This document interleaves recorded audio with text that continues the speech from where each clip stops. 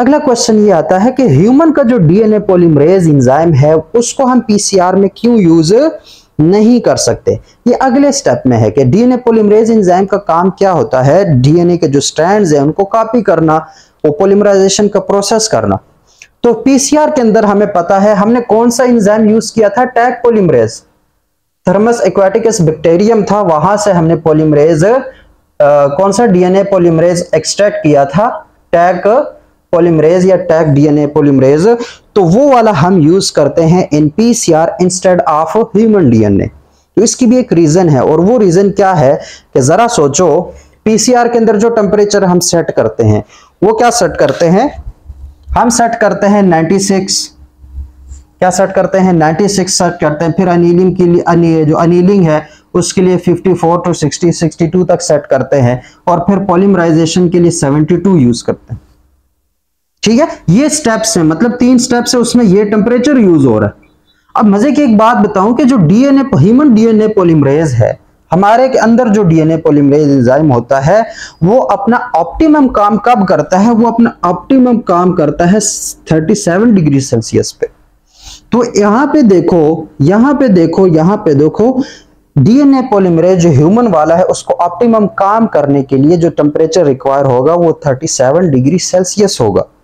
वहाँ पे हम डीनेचरेशन के लिए हीट यूज़ कर रहे हैं तो अब उस खुद सोचो, ये जो डीएनए पॉलीमरेज है, ये तो भी रिएक्शन मिक्सचर का पार्ट होता है ना हमारे पास पीसीआर कंपोनेंट्स के पार्ट्स होते हैं तो इसको भी हम ट्यूब में डाल देते हैं उसी वक्त तो अगर टेम्परेचर इंक्रीज करेगा 96 डिग्री सेल्सियस डिग्री सेल्सियस तक जाएगा तो जो डीएनए हमारा होता है, ये जो डीएनए है, जिस जो टेम्परेचर इंक्रीज करने का फ़ायदा क्या होता है कि हमारे ये जो डीएनए है, ये स्प्लिट कर जाएँगे, इसके स्ट्रैंड स्प्लिट कर जाएँगे, जिसको डीनेचरेशन हम कहते थे। तो ये काम होने से पहले पहले जो हमारा ह्यूमन डीएनए पॉलीमरेज एंजाइम है, ये डीनेचर कर जाएगा। ये क्या कर जाएगा? डीनेचर कर जाएगा। क्यों डीनेचर करेगा? क्योंकि भाई 96 डिग्री सेल्सियस पे 72 डिग्री सेल्सियस पे ह्यूमन डीएनए पॉलीमरेज काम कर ही नहीं सकता। उसका जो ऑप्टिमम टेम्परेचर है, वो 37 डिग्री सेल्सियस है। तो इस वजह से हम पीसीआर के अंदर ह्यूमन डीएनए पॉलीमरेज एंजाइम नहीं यूज़ करते, उसकी जगह हम यूज़ करते हैं टैग पॉलीमरेज कहाँ से ऑब्टेन किया जाता है? थर्मस एक्वाटिकस एक हमारे पास बैक्टीरिया है जो हॉट स्प्रिंग्स में होता है। गर्म चश्मों में पाया जाता है तो वो टेम्परेचर टॉलरेंट है। क्या है हमारे पास? Taq polymerase temperature tolerant temperature tolerant तो इस क्वालिटी की बिना पर हम टैग पोलिमरेज इंजाइम को यूज़ करते हैं, क्योंकि टैग पोलिमरेज इंजाइम जो है, वो इस टेम्परेचर पे भी स्टेबल रहता है, इस टेम्परेचर पर भी वो हमारे पास मैक्सिमम यील्ड देता है मैक्सिमम अपना काम करता है।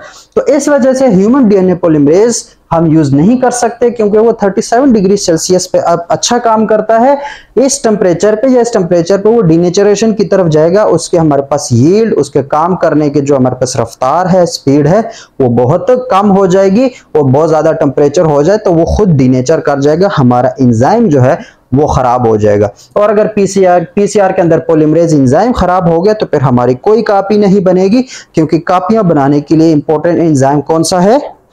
पोलिमरेज एंजाइम है तो वो हम कौन सा यूज़ करते हैं? बैक्टीरिया से ऑब्टेन करते हैं। टैग पोलिमरेज एंजाइम हम ह्यूमन डीएनए का पोलिमरेज एंजाइम यूज़ नहीं कर सकते। इसके अलावा टैग पोलिमरेज ऑब्टेन करना इजी है अवेलेबल हमारे पास इजी है, जबकि ह्यूमन का डीएनए पोलिमरेज ऑब्टेन करने के लिए हमें अलग से उसे ह्यूमन से एक्सट्रैक्ट करना होगा, फिर उसके बहुत सारे प्रोडक्ट्स बनाने होंगे, उसकी रिकम्बिनेंट डीएनए टेक्नोलॉजी करनी होगी तो वो काफ़ी कम्प्लेक्स प्रोसीजर हो जाता है। तो इस वजह से भी, क्योंकि हम कहते हैं टेक्निक को हमने सिंपल रखना है, उसको कम्प्लेक्स नहीं बनाना तो इस वजह से टैग पोलिमरेज क्योंकि वो अवेलेबल ईजी है, वो हमें इजीली हर जगह मिल सकता है, जबकि जो ह्यूमन डीएनए पॉलीमरेज उसको अपटेंड करना, उसको एक्सट्रैक्ट करना हमारे लिए काफ़ी कॉम्प्लेक्स हो जाएगा। क्या हो जाएगा? कॉम्प्लेक्स हो जाएगा तो इस वजह से हम क्या करते हैं? ह्यूमन डीएनए पॉलीमरेज एंजाइम जो है, वो पीसीआर के अंदर यूज़ नहीं करते।